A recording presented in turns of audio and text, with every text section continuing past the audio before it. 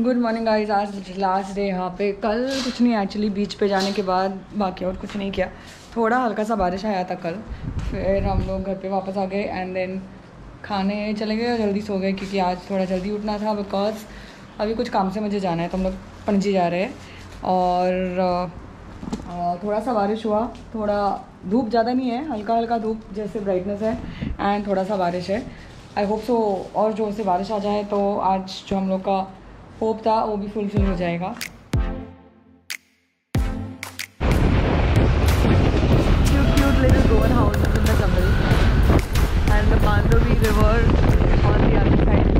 हल्की हल्की बारिश आई थिंक day. गोवा का सबसे फ़ेमस चर्च कल से बारिश हम लोग को बहुत पोपट बना रहा है। सो so, बारिश आया। थोड़ा टाइम के लिए आई मीन फुल लाइक सुबह आवर्स तक था। हल्का हल्का और वो चला गया। और अभी फिर से अक्टूबर हीट जैसे चालू हो गया। अभी सिर्फ़ काजू वाजू लेंगे एंड फिर निकलेंगे हम लोग कांदुलम की तरफ़। जब भी आप काजू लेने आते हो तो फिर आप देखोगे कि कांदोली और दूसरे सब जगह में बहुत सारा काजू का शॉप्स होंगे बट उनका क्वालिटी इतना ग्रेट नहीं है। आपको आना है, ये जो है जानटेज और अगर आप मैप में डाल दोगे जानटेज पैंजिम तो आपको मिल जाएगा। हम लोग फोर्ट अगवादा की तरफ़ जाएँगे just to have a small glimpse road पे अगर खाने के लिए कुछ मिला तो we will do that street के शॉप्स अभी भी ओपन ही हैं, अगर आपको स्ट्रीट शॉपिंग वगैरह वो सब मिल सकता है.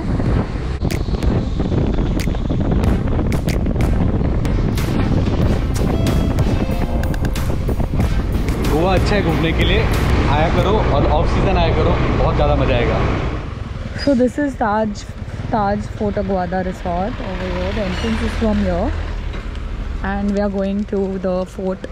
Fort Aguada is divided into three parts basically. There are three forts.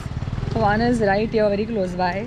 Then there there is there are two more where you have to trek a little bit, like walk a little bit, uh, slight uphill, and then you reach the other two forts uh, if you want to go to the other two forts, it's like uh, a, g- like in the mountain. So right now, I think there's going to be a lot of like uh, grass and everything filled. Otherwise, when you come in the other seasons, you can easily trek through it. It hardly takes like 10 to 15 minutes.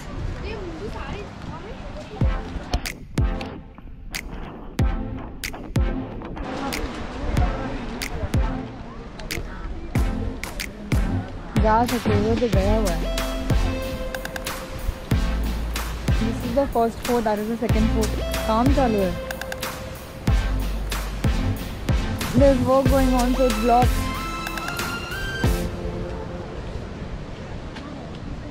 Fishermen are allowed now because there's some work going on along this path, so they blocked everything.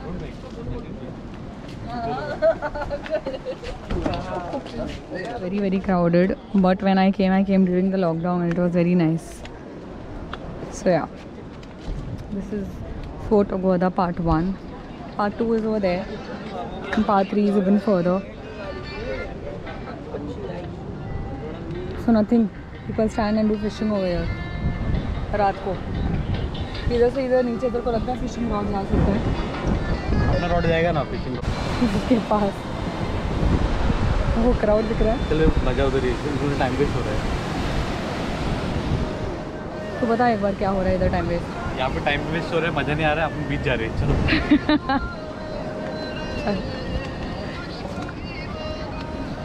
Is too crowded we are going back to a house we only like our home the best and that's why we are going back home ये हमारा रोज रोज के रास्ते पे। We reached we reached last day last day over here and we wanted to be here for longer but maybe someday in the future we will wait over here a little longer blog end करने वाला हूँ मैं अभी हम लोग पहुँचने वाले हैं इसे घर के आजू तो अ, हैं। क्या नाम है कांदोली कांदोली कांदिवली नहीं का, कांदवली भी कांदोली बीच मुँह तो दिखा तेरा ये गटर में दिखा। I am sorry guys but एक छोटा सा गटर आ जाता है इधर। शो देम ये ये एक छोटा सा लाइक जितना ब्यूटी देखा वो अच्छा है, लेकिन ये एक छोटा सा गटर जैसा रास्ता कचरा जैसा रास्ता आ जाता है इधर। बिकॉज़ ये हमारा ही कचरा है जो हम लोग ने ओशन में फेंका और ओशन ने वापस बाहर फेंका। एंड इज़ जस्ट लाइंग या बट ये एक छोटा सा कचरा वाला रास्ता आता है which we have to pass and उसके बाद ब्यूटी ही ब्यूटी है। So this is our last day and and this is the end of our trip not very happy sounding happy but not happy sounding happy because होता है I think it's six o'clock you have one a more are to chill over your and then we are go back home We need this life. Jingle ala? Hey, This life and this boy's life and this kind of boy's life is what we need in life.